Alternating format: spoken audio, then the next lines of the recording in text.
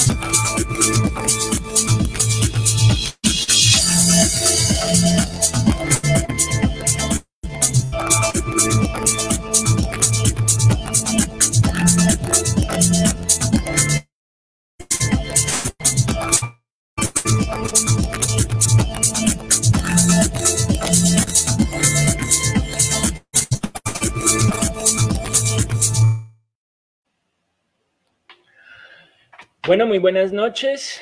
Eh, bienvenidos y bienvenidas nuevamente a Charlas con Chamil.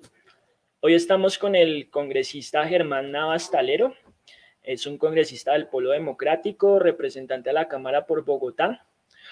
Muy buenas noches, congresista Navas. ¿Cómo me le va? Muchísimas gracias por aceptar la invitación. Su merced, el micrófono. Aparato no se, no se queda quieto, se sale solo. Ahora sí lo estamos escuchando. Es un placer estar con usted aquí en su invitación, conocerlo y dispuesto a contestar lo que usted y sus seguidores a bien tengan. Porque si somos hombres públicos, debemos estar a disposición del público.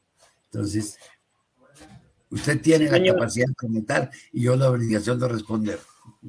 Me parece perfecto. Recuerden entonces que si lo desean pueden hacer preguntas en el chat de, pues, de este video. Lo que le quieran preguntar al congresista en el momento lo, pues se lo transmitiremos por acá. Congresista, leí su columna, la columna que escribió con su nieto sobre el alto comisionado para la paz, Miguel Ceballos.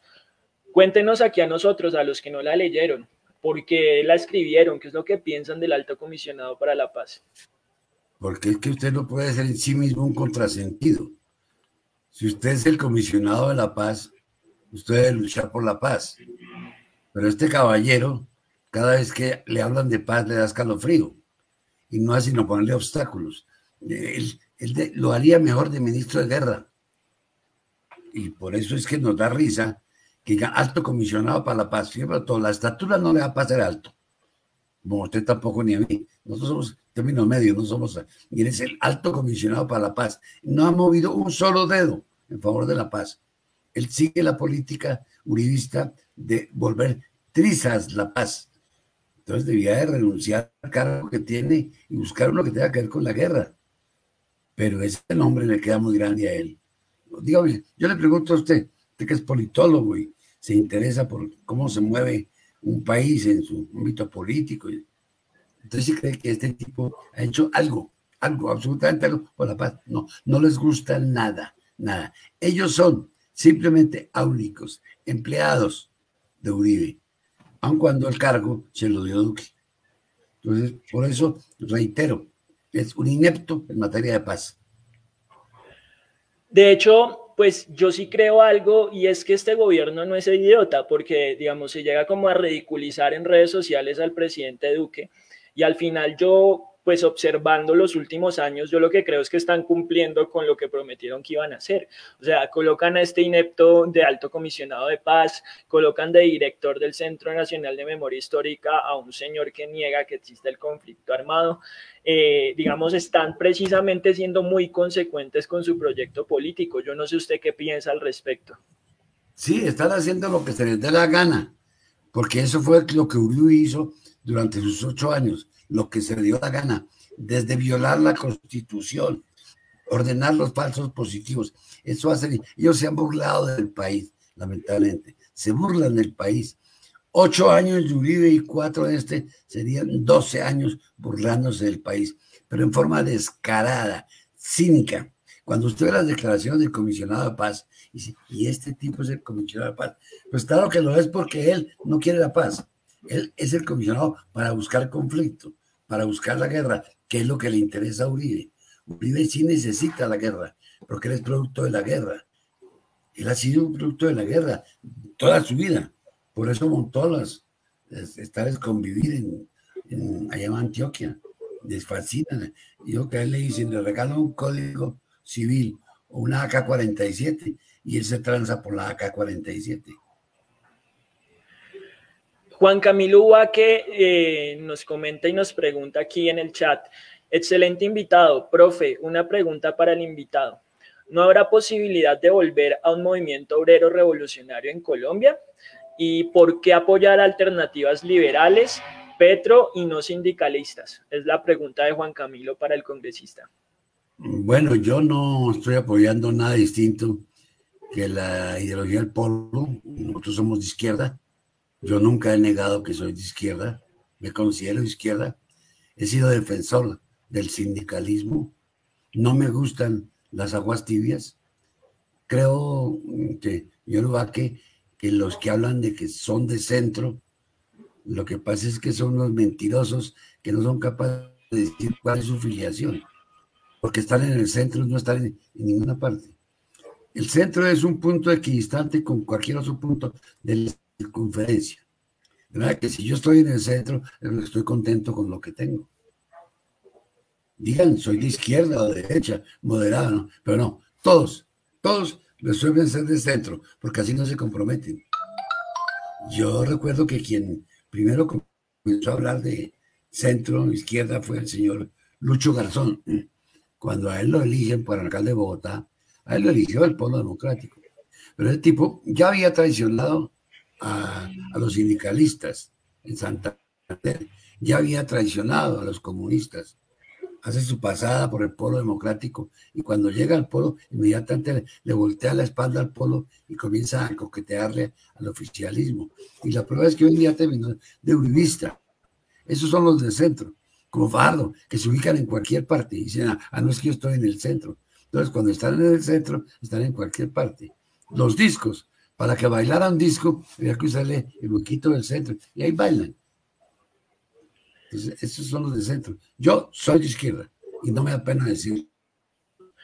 Su merced de izquierda, pero usted, digamos, no tiene como una historia similar a la de Robledo o la de Petro, que estuvieron vinculados a organizaciones políticas desde su juventud o, o a grupos armados, digamos, como otra vía para conseguir los cambios. Usted pues se ha dedicado al derecho y a la docencia, ¿no? Y toma la decisión de, y toma la decisión de entrar al Congreso, o sea, ¿por qué no se quedó tranquilo, digamos, en la docencia o en su fundación y pues termina como su carrera ahí y decide entrar al Congreso? ¿Qué fue lo que lo motivó a eso? Porque me aburrí de que otros hicieran mal lo que yo podía hacer más o menos bien.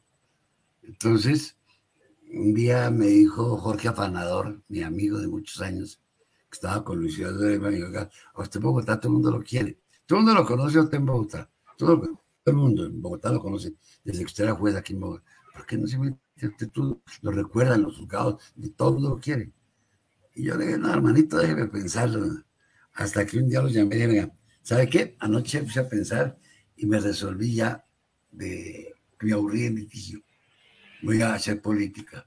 No sé cómo se hará, pero vamos a intentarlo.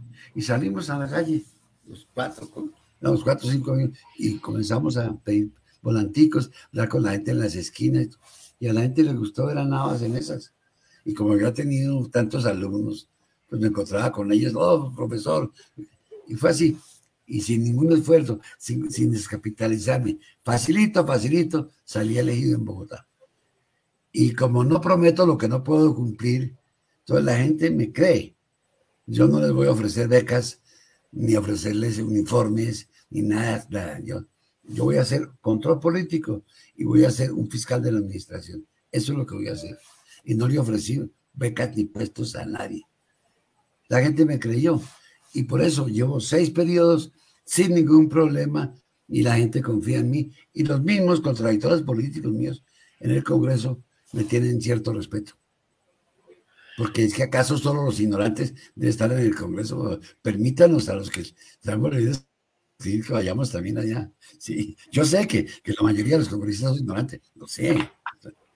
Lo que usted dice, no lo entiendo perfectamente. Usted me está diciendo, si usted sabe leer y escribir, ¿por qué está en el Congreso? Ah, pues, tratando a ellos aprendiendo y escribir también.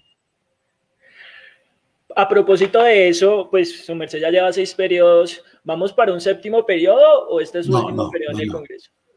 Este es su último periodo en el Congreso. ya me cansé. Me cansé, flaco, porque eh, tuve, he tenido dos infartos. Le doy mucha importancia a mi trabajo. Eso produce un estrés y el estrés lleva al infarto y a las, enfermedades que he tenido. Entonces yo quiero poderme sentar a seguir escribiendo con mi nieto. Entonces voy a salir y dedicarme un poquito a, a algo que yo sabía hacer antes de ser político, y era el periodismo. Entonces vamos a dedicarnos a eso, vamos a ver. O sea, va a seguir haciendo política, pero por fuera de un cargo de representación. Pues claro, sí voy a seguir, y voy a seguir en el partido del Pueblo Democrático, lógico. Voy a seguir en ese partido. El doctor Gaviria fue magistrado y fue político.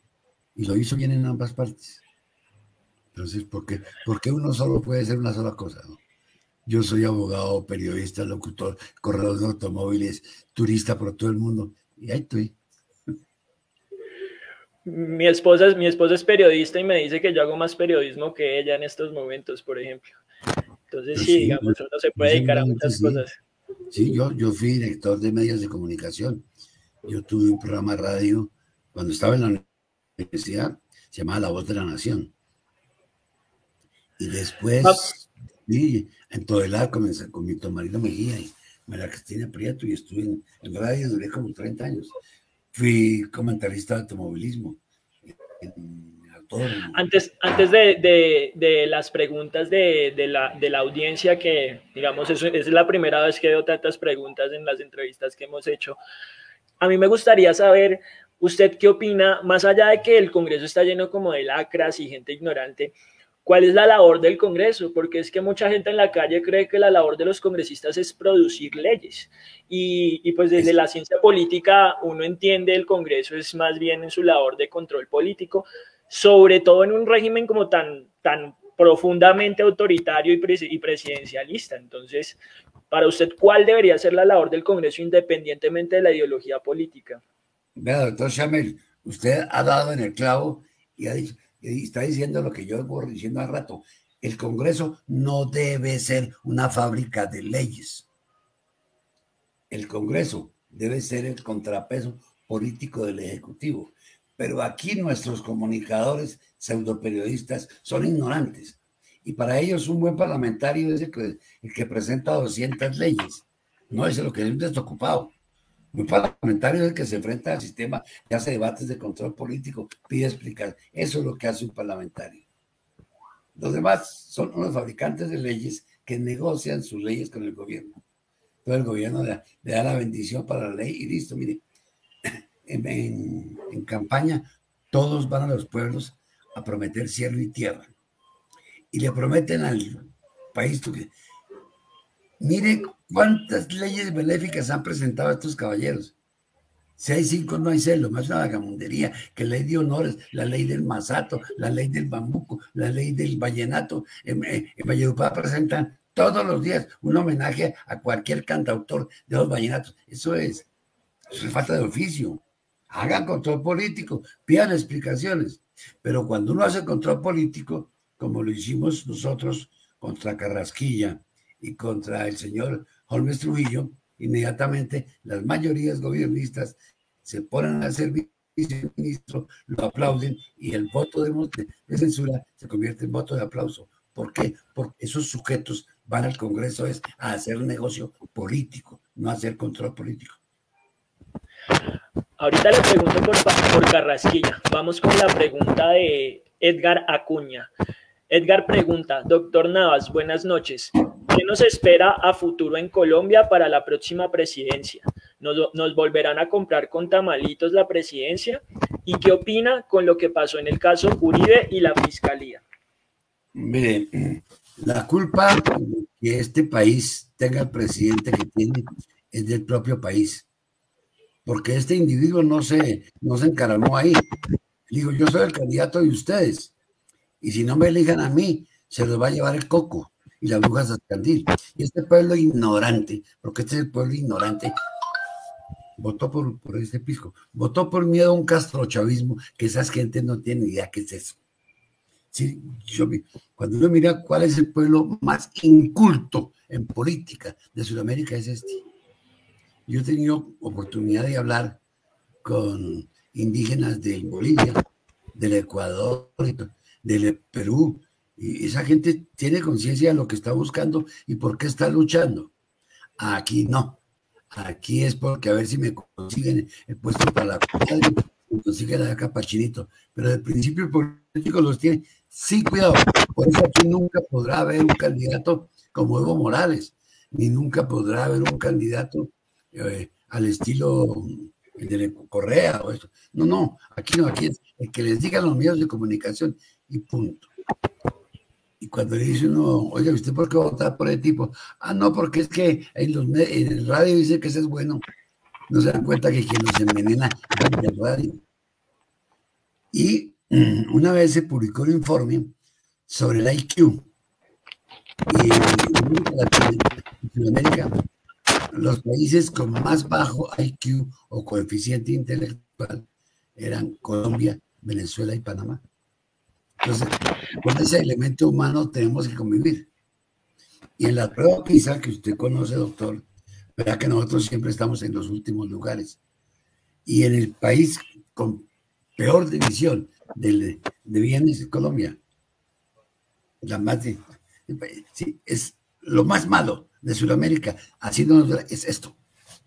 Porque uno dice, bueno, esto, hay otros países que tienen problemas de pobreza, otros tienen problemas de sequía de tierras. Es que todas las cosas malas nos las mandaron para acá. Esta fue la caja de Pandora. La tenían en una esquinita y la abrieron. Y todas las cosas malas, ahí se las da para ustedes. Pero ¿será que somos ignorantes o más bien estamos, estamos llenos de miedo? O sea, yo, yo algunas veces siento que, que, es un pueblo lleno de miedo precisamente por todo lo que nos ha ocurrido, porque, por ejemplo, a mí mi mamá me decía cuando yo estaba en la universidad, Pila se meten esos tropeles, pero porque ella sabía que los, que los policías asesinan a estudiantes, no porque ella no quisiera que yo protestara. ¿No será más bien que en vez de ignorantes, pues la gente tiene mucho miedo, mucho miedo de participar, de, de hacer, de, alzar su voz, de, de involucrarse? No, no, es ignorantes porque usted les pregunta, ¿por qué votaron por Uribe? Ah, no, porque nos dijeron que es pura ignorancia. Cuando usted cree que dentro del cuerpo humano cabe el diablo es porque usted es ignorante. ¿Por qué votaron por no a la, paz? Porque ahí dentro de las capsulitas venía el demonio, venía el ateo y las respuestas eran porque usted era homosexual. Y eso lo cree este país. Un país que vive pensando únicamente en el fútbol. Cuando hay países que protestan y no, aquí. La única vez que han protestado fue cuando les iban a un gol. Y se movió todo el país. De resto lo tienen sin cuidado. Sí, es la mentalidad del colombiano. Casi el colombiano sea, colombiano. Yo no nos vayamos sin responder la pregunta de Edgar. Edgar también le pregunta por, por el caso Uribe y la fiscalía. ¿Usted qué opina ahí?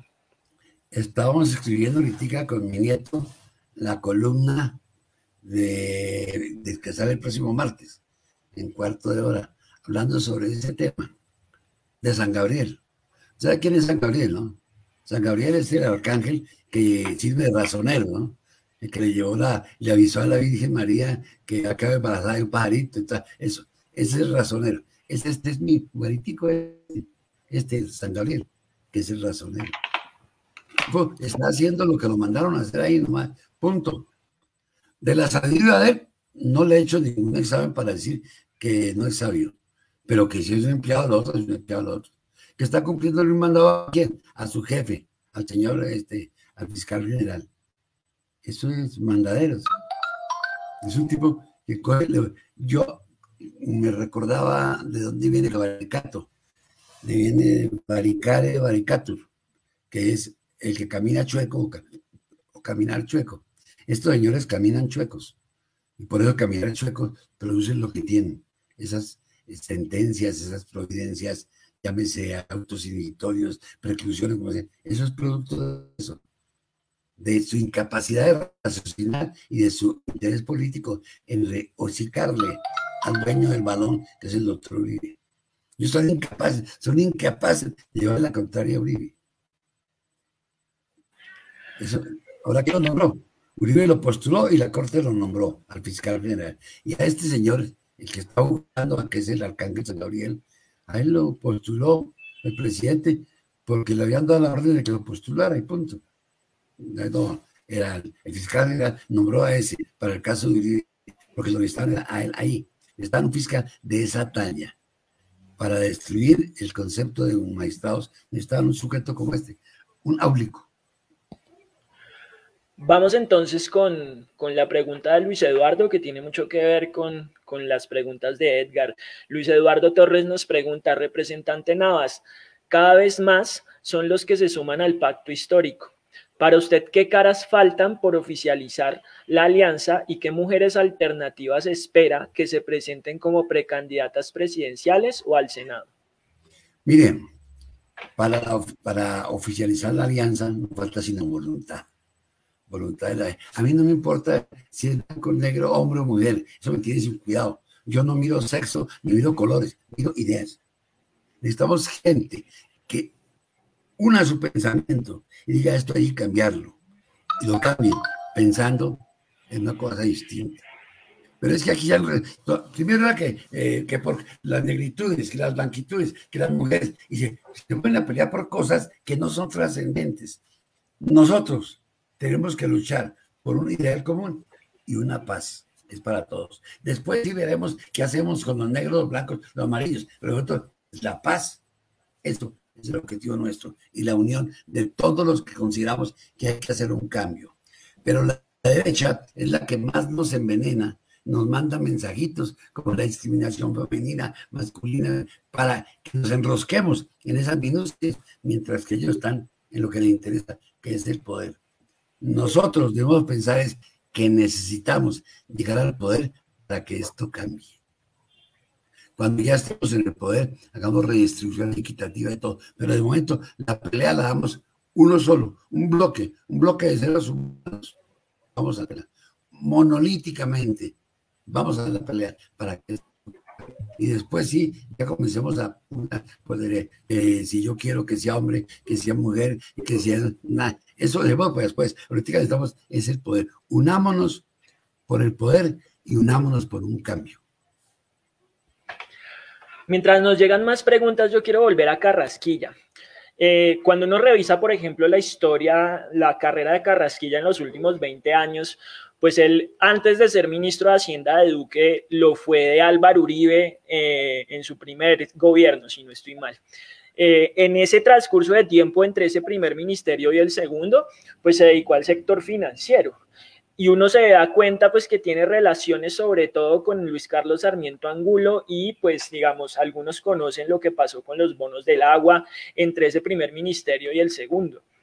Negociación, ahorita, ahorita yo, ahorita yo escuchándolo, digamos, muchas personas creen que el problema de este país es Álvaro Uribe. Y bueno, evidentemente Álvaro Uribe es posiblemente el, político más poderoso de Colombia en los últimos 20 años.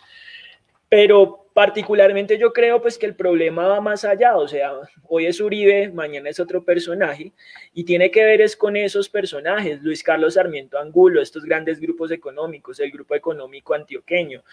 Eh, ¿Realmente es suficiente con el poder? Porque digamos, mañana puede haber un presidente y puede haber eh, un presidente alternativo y puede haber una mayoría en el Congreso y digamos empezamos a pedirles cuentas a un tipo como Luis Carlos Sarmiento Angulo y a decirle, hermano, usted ha ganado un montón de billete en los últimos años, pero entonces empecemos a redistribuir mejor esas riquezas. ¿Ahí qué va a pasar? Porque entonces uno revisa la capacidad, la influencia que tiene personajes como esos en las instituciones públicas y pues se da cuenta que, es, que, pues, que es una cosa escandalosa, o yo no sé usted qué opina. Si usted tiene el poder, usted puede cambiar las cosas. Porque si usted tiene el poder, puede cambiar la ley. Y dirigir la ley hacia donde debe estar dirigida. No en beneficio del banco, sino en beneficio de que tiene la plática metida en el banco. Porque aquí se le da toda la garantía al dueño del banco. Pero al dueño de la plática que maneja el banco, que es el usuario, a él nunca le dan nada. A esa persona es a que hay que proteger y teniendo el poder lo podemos hacer. Pero ahorita el pueblo no tiene nada. Lo que tiene es el deseo de un cambio, pero no es capaz de cambiar porque le interesa más el Festival Vallenato y la chicha y la limonada.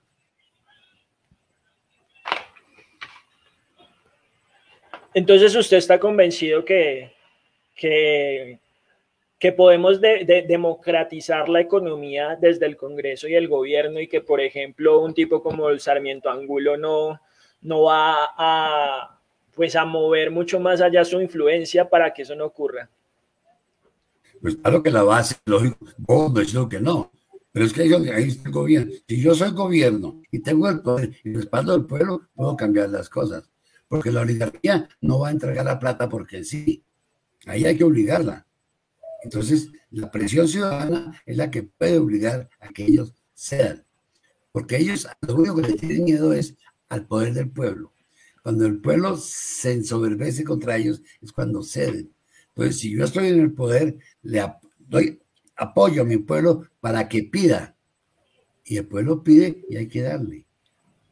Eso sí es, hay que decirle, bueno, pida. Yo recuerdo que este era el papel de Evita Perón. Usted que es politólogo sabrá que el que era presidente era Domingo Perón, pero la que armaba los jaleos por la calle era Evita. Evita era la que echaba al pueblo, le daba apoyo al pueblo para que ella le pidiera a su presidente. Y el presidente tenía que hacerlo. Entonces necesitamos es que el gobierno le diga a la gente, ¿qué quiere usted? Le voy a complacer dentro de la lógica y le dé al pueblo. Pero es que si el pueblo quiere algo aquí, lo que le damos es culata y bala, y eso no que es lo que han hecho siempre en Colombia. Sí, como ocurrió en Bolivia, que su merced lo mencionaba ahorita, finalmente el movimiento al socialismo logró recuperar el poder después del golpe de Estado, entre otras cosas, porque la gente salió a la calle y estuvo un año completo presionando para que... Allá hay, unidad, allá hay unidad racial, unidad política e ideológica. Eh, uno le pregunta a un campesino nuestro sobre política, no tiene idea de nada usted le pregunta a un indígena de y sale con sus principios y por qué apoyan a este y por qué atacan a... Y, todo lo tienen muy clarito. Ellos están mentalizados, lo mismo que, los, los peruanos, en, allá en el Alto. Esa gente está... Y yo recuerdo que estando en el Ecuador, eh, una revuelta, iban a sacar al tipo este que tenía apellido, apellido árabe. Estábamos en Guayaquil. La misma Huat creo que era. Sí, el dueño del hotel nos dijo, si se bajan los indios de la cordillera, a este tipo lo tumban. Dicho y hecho, nosotros llegamos a Quito, cambiamos de avión, volamos a Lima, y cuando llegamos a, La Paz, habían tumbado a Juan. Se y lo tumban. ¿Cómo sacaba a Fujimori? Fue el pueblo, la fuerza del pueblo. Entonces, si yo soy el gobernante, tengo que ganarme al pueblo, darle al pueblo lo que necesita y que el pueblo me defienda. Pero aquí se hacen elegir por el pueblo para gobernar a nombre de Luis Carlos Sarmiento. Hablemos de Bogotá, congresista. En alguna entrevista vi que su merced eh, afirmaba pues que todos los alcaldes que ha tenido Bogotá en los últimos 30 años no le han cumplido a Bogotá. o algo, pues más o menos esa fue la afirmación que hizo. Entonces, en esa, en esa la bolsa, sostengo, la sostengo, la sostengo, eso sí. En, esa misma, en esa misma bolsa metemos a Peñalosa, a Lucho Garzón, Petro, a todos. El menos malo ha sido Petro, porque le dio al pueblo algo. Nosotros se han dado para sí mismo. El único de esos que hemos mencionado que le dio algo al pueblo fue Gustavo Petro. Los demás, todo es para adentro. ¿Para adentro? ¿Adentro qué es? Ese grupo de negociantes que los eligen a ellos. Lo que pone la plata para las elecciones. Aquí quienes han manejado en la alcaldía de Bogotá, los transportadores se han manejado siempre como se les dio la gana.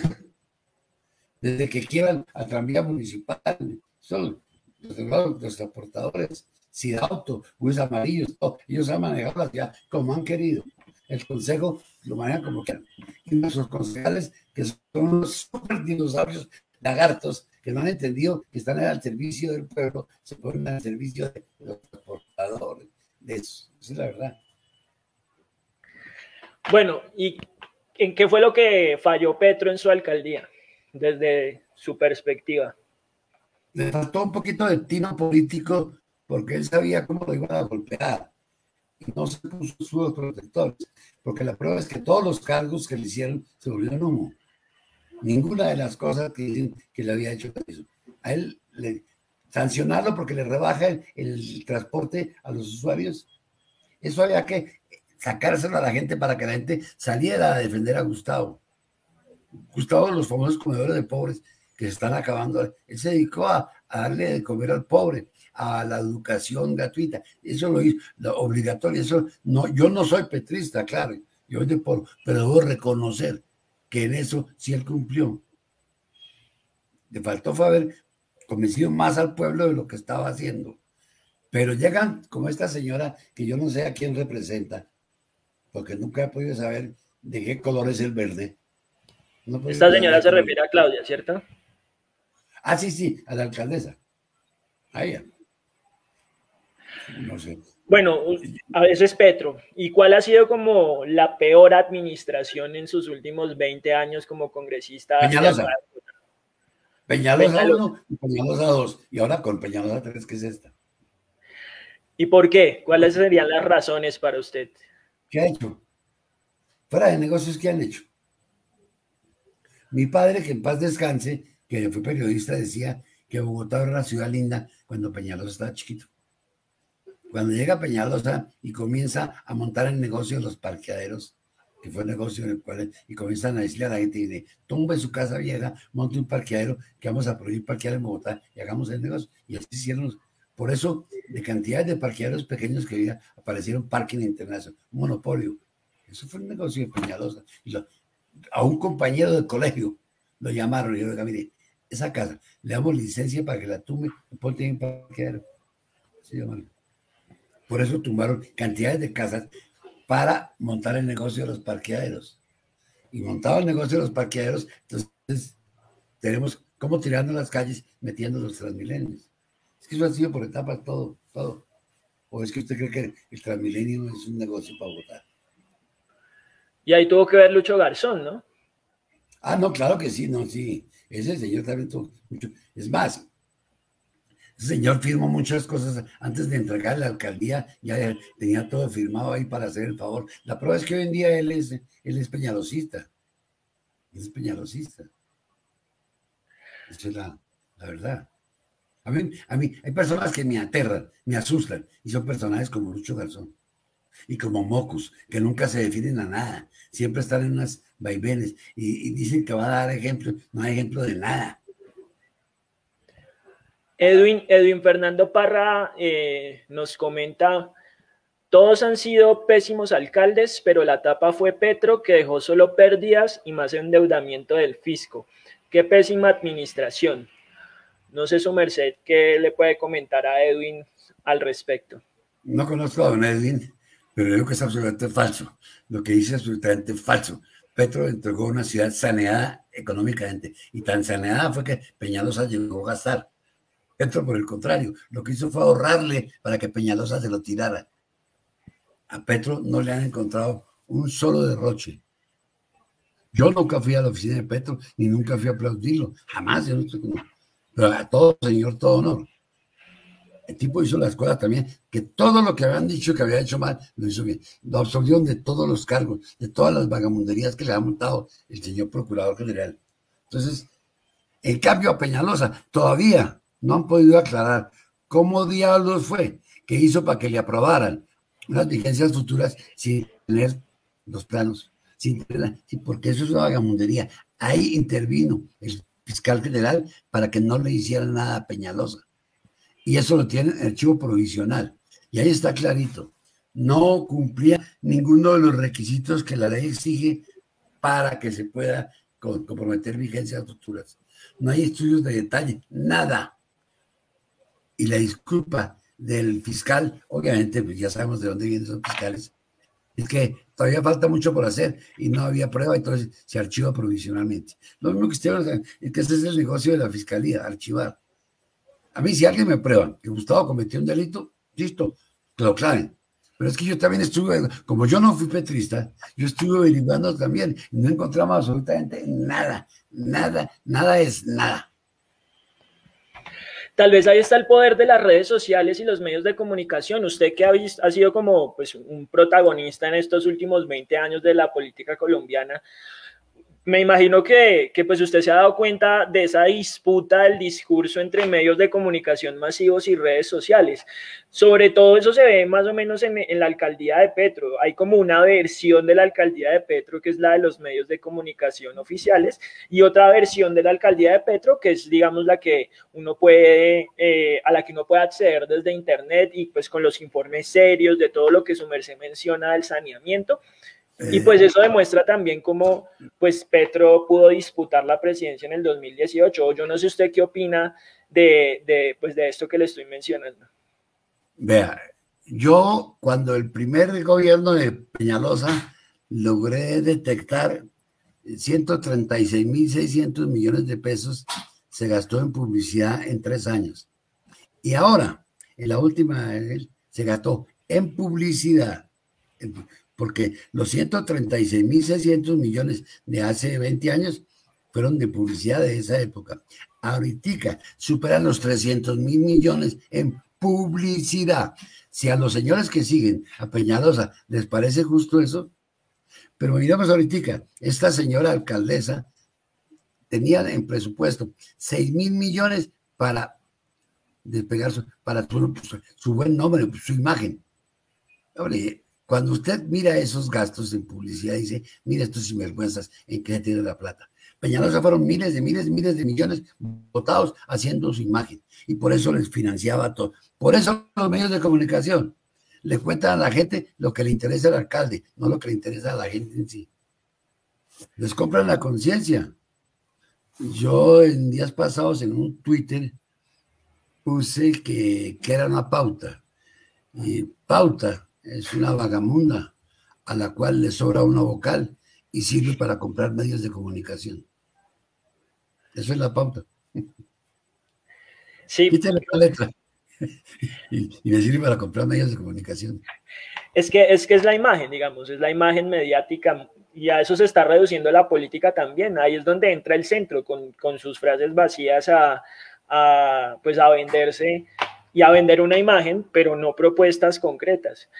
Y también la imagen, también la imagen, y por eso también yo diría que los grandes grupos económicos le apuestan a estos medios de comunicación aunque no sean buenos negocios, porque al final no los compran porque sean negocios, sino precisamente porque necesitan mantener, bueno, necesitan construir una imagen pues favorable ante, pues ante, ante el público y ante sus, ante sus consumidores también. Eh, Luis Eduardo Torres Rodríguez nos pregunta, ¿cree que a Holman Morris le hicieron campaña de desprestigio desde todos los frentes en la última campaña de la alcaldía de Bogotá? Creo exactamente eso, porque fue infame lo que hicieron con Holman. Holman tenía sus problemas familiares, eh, no de maltrato, sino que estaba en vía de separación de su esposa, ya no vivía con ella. Y recuerdo que una vez me consultó a mí eso, yo le dije, hombre, Colman, yo considero que mejor es de, intente ya, con, tienen el tiempo suficiente, propongan un divorcio de común acuerdo, pero él no quiso. Él se quedó quieto ahí. Y entonces, del otro lado, el señor Uribe el señor este del, del bufete de abogados con el nombre extranjero le ofrecieron a la señora cielo y tierra y asumieron la... Y observen esto tan curioso, para los que no tienen ni idea. Esta señora estaba demandando a Holman y entre las cosas que pedía era alimentos. Y Morris le estaba dando a la señora 16 millones de pesos mensuales como cuota de alimentos. Pues, ¿cómo sería que el primer auto del juzgado fue rebajar la cuota a 9? O sea, de entrada, la señora entró perdiendo 7 millones. ¿Por qué? Porque era injusto el cargo que le estaba haciendo. Y un poco de señoras que le dio por jugar a al feminacismo, dedicaron a atacar a Holman sin tener ninguna prueba. Y hablando pestes de Holman Amor, yo sí lo defiendo. Lo defiendo, yo conozco exactamente el proceso, porque sé quién es su abogado y conocí, sé que todo eso fue una cuestión hecha miserablemente por unas damas tratando de victimizarse y despertar una conciencia feminista para hundir la imagen de Holman, que en ese momento tenía todas las posibilidades de ser alcalde, y cambiarlo por esta señora que es inepta como alcaldesa. Congresista, usted que es amigo de Jorge Enrique Robledo y al mismo tiempo amigo de Gustavo Petro, cuéntenos usted por qué ellos dos no se han podido poner de acuerdo, al punto que Jorge Enrique Robledo pues armó su rancho aparte y se fue del polo democrático. Mire, son cuestiones que yo no he podido entender nunca y en las cuales nunca me he metido. He sido amigo de los dos y todo, pero eh, es que el político de izquierda a veces carece de racionalidad práctica. Entonces no han, no han dado cuenta que nada saben con darse puños. Pero en realidad no sé, la causa remota o inmediata no la conozco. Nunca adentré en eso. Como yo estoy en el partido, pero yo no tengo grupúsculos, yo no soy de, yo soy de polo democrático alternativo, no tengo apodos, no tengo movimientos, pero no sé qué ni, nada. Soy político de ideas. Yo soy político de ideas, no de directorios. Por eso yo no tengo concejales, yo no tengo ediles. Yo tengo ideas claras, muy precisas, y las he defendido y las he demostrado en mi pero eso de, yo soy liberal manchesteriano, yo soy liberal de la izquierda, yo soy liberal de la derecha, y así en el polo, y en todas partes, no, no, yo soy el polo democrático alternativo, sin ninguna clase de apodos. No sé por qué razón han terminado por las fuerte, porque es mi amigo, pero en sus razones que haya tenido para tener con Gustavo Petro, no sé por qué. No sé por qué no. En mi caso, sigo en el Polo Democrático y seguiré mientras ese partido exista. Ahí estaré yo. Y si hay consulta, iré a la consulta. Porque la consulta debe hacerse entre todos, sin vetos. Yo voy a consulta, pero si no va fulano, no. Yo voy con quien sea. Y el que saque la mayoría, por ese voy a votar. Yo estoy votando por ideas y no por puestos. Pero bueno, yo revisando me doy cuenta que usted estuvo eh, inscrito en la tendencia Polo al Sur, en donde estaba Alfredo Molano, en donde estaba Alexander López, o eso fue hace ya mucho tiempo. No recuerdo, no recuerdo. Pero es que creo que, fue para un congreso del Polo. pero es que yo nunca he usado esos apelativos. A uno lo sitúan allá, pero yo nunca he estado ni en el. No, no, no, yo soy polo democrático y punto, se acabó el paseo. Bueno, ahora sí, ya que estamos hablando del polo, ¿cuál es el futuro del partido? Eh, crecer. Crecer y crecer. Y eso es lo que yo siempre digo. Aquí hay que crecer, no hay que darse más codazos, hay que crecer, hay que traer gente, traer toda la que, bienvenidos todos los que quieran ir al polo. Esa es la razón. yo estoy haciendo una investigación sobre lo que ocurrió en septiembre acá en Bogotá eh, pues con la masacre, la masacre que perpetró, perpetró la Policía Nacional. Eh, a mí me gustaría saber usted, bueno, cuál es su opinión al respecto, qué fue lo que pasó, qué hay que hacer con la policía para que no sigan pues cometiendo estos asesinatos, hiriendo a la ciudadanía cuando protesta. Digamos que, que se intentó montar ese discurso en donde lo que ocurrió acá en septiembre fue, fue pues una conspiración de las disidencias de las FARC y del ELN, eh, ¿Qué tenemos que hacer? esa es la política del mi indefensa que en paz descanse. Yo en el debate donde eh, fue él, le dije mentiroso. Le llevé fotografías, todo lo que usted quiera. Y él llegó a decir que había pedido excusas. Le dije falso. Y en pleno debate nos llegó la constancia de que el tipo aún no había pedido excusas. Esa fue la vez que terminaron aplaudiendo al, homicida. En vez de haber aplaudido a la víctima, la mayoría del Congreso terminó aplaudiendo a los homicidas. Ahí, ¿qué es lo que ha pasado en Colombia? Le ha faltado interés de carácter al presidente de la República para desmilitarizar la policía, sacarla del Ministerio de Defensa, volverla efectivamente civil, como dice la Constitución, y decirles a los policías, ustedes son policías, no militares. ¿Cuál es la diferencia entre un policía y un soldado? El soldado obedece, el policía piensa. Aquí quieren que el policía obedezca y no que piense. Y una buena policía es como el Scotland Yard o el FBI, donde el policía piensa. Cuando logremos eso, desmilitarizarla, le vamos a quitar ese elemento que tiene la que es que el ciudadano del común es el enemigo de él. Porque a los policías, como a los soldados, los han convencido de que el pueblo, el pobre es su enemigo. Y por eso cuando el policía ve a un hombre pobre, le da más duro que a un rico. Es cuestión de educación. Quitemos el Ministerio de Defensa, creemos un Ministerio de la Policía y listo, y vamos a trabajar con civiles. Es lo que en la academia llamamos la doctrina del enemigo interno, ¿no? Al final, eh, lo que decía Zapatero en estos días también de, tratar de víboras a, pues a quienes estábamos hablando de, falsos positivos y, y, el asesinato de civiles por parte del ejército. El señor eh, Schumacher, es el señor Schumacher. Pero yo no entiendo ese apodo, porque usted le dice el señor Schumacher. Porque Schumacher es zapatero. Shoemaker en inglés. En alemán es Schumacher. Ah. El señor zapatero es zapatero. Si él hubiera nacido aquí, en el barrio de la Perselacia, se dice zapatero y no zapatero. Seguramente tiene un ascendiente portugués. Pero si hubiera nacido en Alemania, sería Schumacher.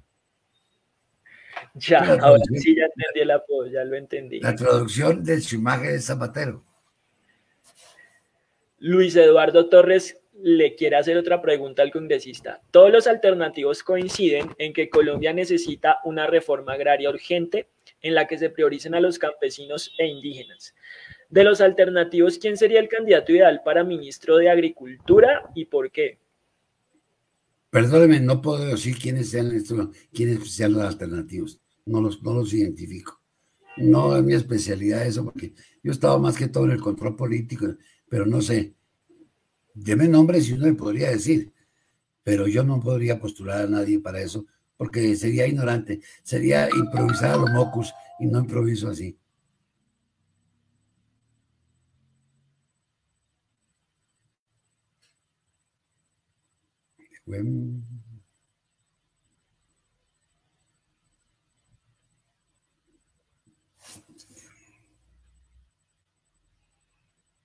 Se fue sonido.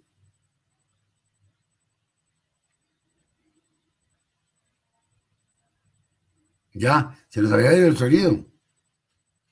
Shamed no tiene sonido.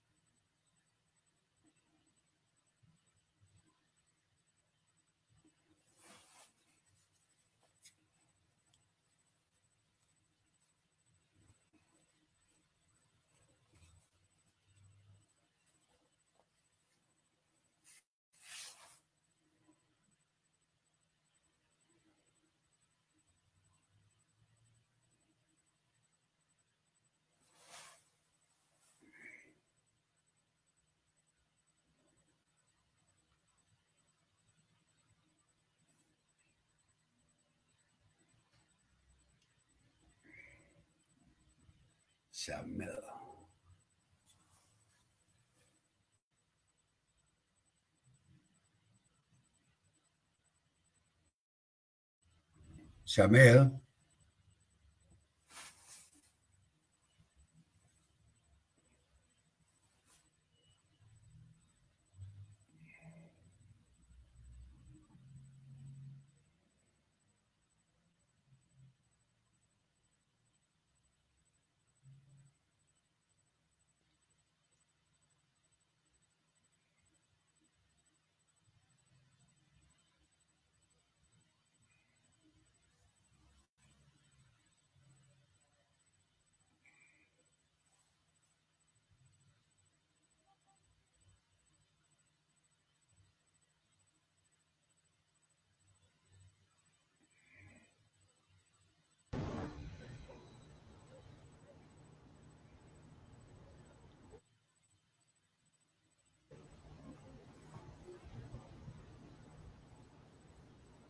Bueno, seguimos aquí conectados a esta hora, a las 7 y 49 en charlas con Chamel. Esta noche estamos, nos está comentando con Chamel, colombiana, cómo está la, cuál es la democrático y pues la persona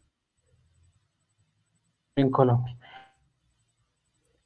Uno, Están mal de sonido ustedes de congresista, mi mamá lo recuerda de los tiempos en que usted... Está mal de sonido. Congresista, de, de qué trata hecho.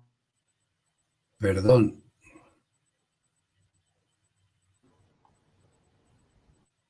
Sí, mi programa se llamaba Consultorio Jurídico. Lo tuve al aire 21 años y hubo de dejarlo cuando ingresé al Congreso porque es incompatible el ejercicio del periodismo y la locución con el cargo del representante. Pero es factible que al retirarme ahora de pronto vuelva a hacer lo que muchas personas como la señora me han dicho que vuelva a hacer consultorio jurídico y cuánto le enseñaron, cuánto aprendió, que era el concurso.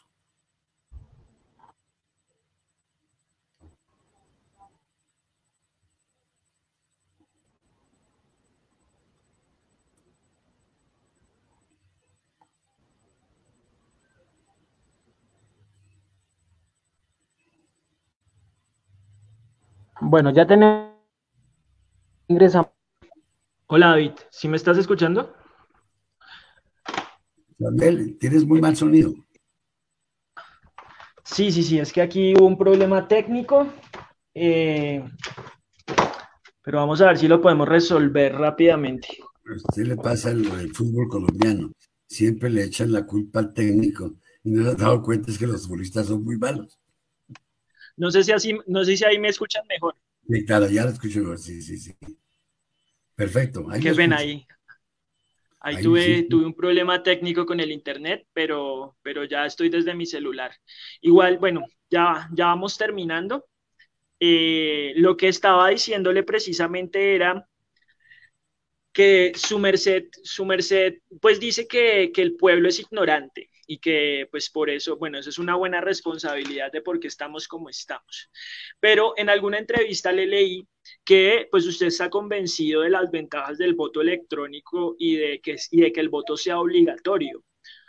¿No será que si ponemos a, o si obligamos a, la, a esa gente ignorante a votar de manera pues obligada, pues vamos a terminar teniendo los mismos resultados o será que los resultados van a cambiar? No, porque muchas veces el abstencionista es consciente. En cambio, el ignorante vende el voto facilito. El que más vende voto es el ignorante, ese lo vende por 50 pesos. Yo siempre he dicho, yo no entiendo cómo una persona abstencionista puede ser servidor público. Yo propuse que para tomar posesión de un cargo público se deberá acreditar que se participó en el último debate electoral. ¿Por qué? Porque me parece ridículo, fuera de todo sentido, que una persona que no vote aspire a un cargo público. ¿Cómo es que quiere participar de la conformación de un Estado en la cual no quiere participar? Entonces, señor, si usted no quiere ser empleado público, usted no vote. Pero si usted quiere ser empleado público, vote. Tome parte en el gobierno. Ayude a estructurar un sistema. Pero este es, quieren que el Estado les dé todo, pero no, señor. Si usted quiere tener un cargo público, tráigame su constancia de que votó, de que participó de este sistema democrático. Y así los obligamos a que voten. Yo no estoy diciendo que es obligatorio el voto. Entonces, si usted quiere ser servidor público, acredite que votó. Y listo. Es que este es un pueblo maleducado. Bueno, colombiano puede maleducado y tramposo fuera de eso. A propósito de lo que su merced menciona, yo no sé si usted eh, pues ha estado pendiente de, la veeduría Trabaja en Vagos, porque pues la veeduría lo que hace es precisamente revisar cuál ha sido la labor de los congresistas en los últimos años y se ha dado cuenta que muchos congresistas ni siquiera van a las pues a pues a las pues a las plenarias del Congreso ni a las ni a las reuniones de las comisiones y que muchos debieron haber perdido su investidura hace muchísimo tiempo por pues por fallas. Eh, entonces no es solo que el pueblo no vota, sino que los congresistas ni siquiera están en, lo que tienen que estar, que es debatiendo y ¿Sabes por qué? Porque el pueblo vota por ellos. Ellos están ahí porque el pueblo votó por ellos. Mire, pregúnteme a usted a un representante de la costa a ver qué tiene que hacer para votar, para que voten por él. Si usted no les da nada en la costa, no votan por usted. Y es la parte del país que más se queja de los políticos, pero son los que más venden el voto. Ese es el problema que, el responsable es el mismo pueblo, porque si el pueblo le exigiera a su elegido que cumpla, pero no, les importa es que le dieron la botella de ron o la botella de whisky y listo, ya, con eso tiene, y el piquete. Entonces, no le echen la culpa al político, échense la culpa a ustedes mismos, porque ustedes son los que eligen eso que hay ahí. Esas gentes son elegidas por el pueblo, que va a votar por ellos a cambio de que le den 20 mil, 30 mil, 40 mil pesos. La suerte mía es que como nunca he tenido que darle un peso a nadie, ni lo doy a nadie, no, lo doy ni para el bus. Recuerdo que una vez estábamos en una reunión y llega un señor y dijo, ¿y por qué no nos dan para el transporte eh, el día de las elecciones? Le dije, mire, mm, el ser político o tener un partido político es una cuestión de ideas, es una cuestión de principios. Sí, yo soy del pueblo democrático y defiendo mis ideales. Usted es católico y usted defiende su ideal, pero usted no le va a pedir al cura para ir a misa. Usted pone su plata y va a misa porque usted quiere. Entonces, si usted quiere democracia, póngalo en bus y vaya y ejerza la democracia. Porque al cura sí le dan la plata, pero ah, llévenme a votar, señor. Estoy, estoy diciendo a ustedes, vote por el gobierno que usted quiera. No, si no me da para bus, yo no voy. Entonces, si no nada, pues no vaya a misa. Yo creo que nos quedamos con esos. Hacer política es una cuestión de principios. Eh, porque lo que pasa muchas veces acá es que confunden política con politiquería.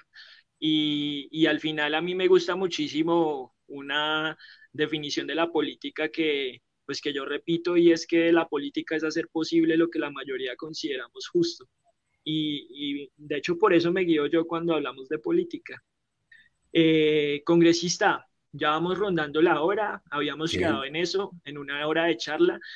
Muchísimas gracias por su tiempo, qué pena por el problema técnico al final, no pero pues, muy agradecido, muy agradecido y, y, muchísimas gracias también a las personas que, pues, que nos escucharon y que participaron, comentaron y preguntaron.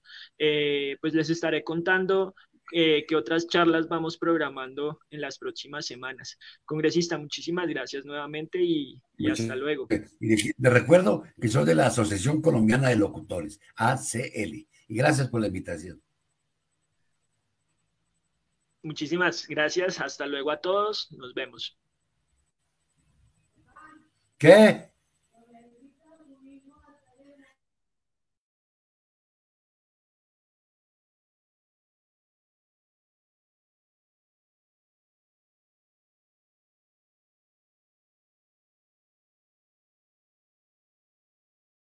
Gracias, hasta luego a todos.